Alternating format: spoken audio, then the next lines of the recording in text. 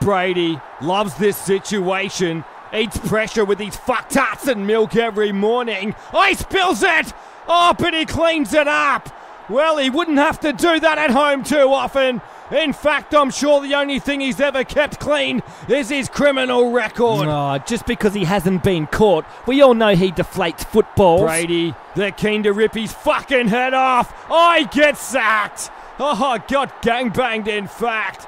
He looked like Paris Hilton trying to dance with the Wu Tang Clan. Yeah, yeah, no doubt they used any lube either. And the Patriots, they've lost three in a row and completely lost their fucking mojo. I've been giving them shit every week, but one thing's for sure like Christina Aguilera's fake tits, when you hit them hard, they usually bounce back.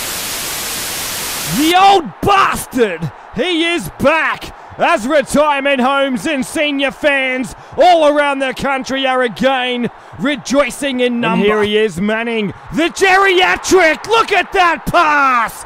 If you were a paper boy, you wouldn't want to skip his house. He'd take you down with a can of cat food.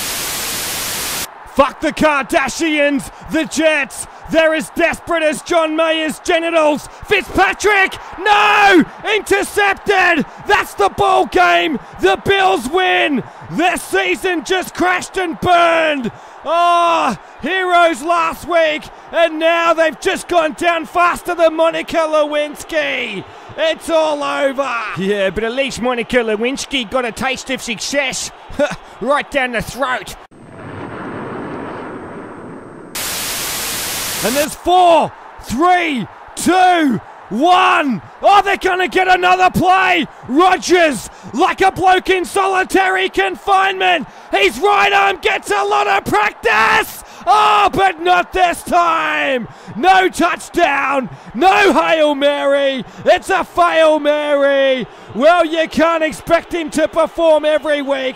Well, that's what I tell my wife anyway. Yeah, and unlike you, mate, the Vikings have got the job done and they've actually finished on chop. Well done.